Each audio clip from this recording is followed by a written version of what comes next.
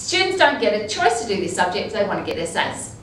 It's a compulsory subject, it's part of SACE, and at Mitcham Girls we do it in Year 11, in either Semester 1 or Semester 2. So it's out of the way and means I can concentrate on four subjects in Year 12, Stage 2. To be successful, you have to choose a top, broad topic and then refine it into a question. And then do the research behind it, then present an outcome, which is answering the question, and then evaluating everything you've done about it.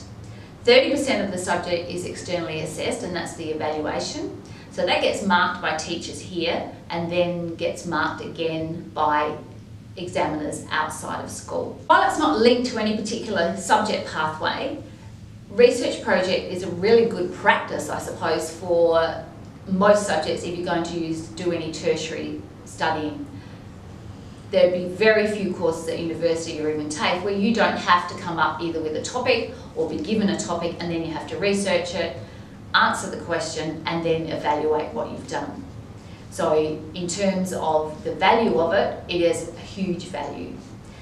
My favourite part of the course is the first part in terms of helping students find primary and secondary sources and helping them find networks and talking to other people about where they might get those resources from.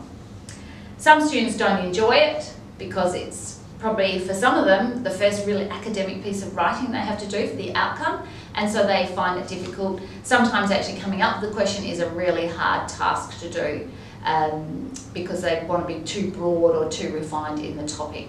But that's something I enjoy working with the students. And the advantage, of course, is that students can finally pick something they're quite passionate about at school and do some research about it and find out all about it and do some learning from that.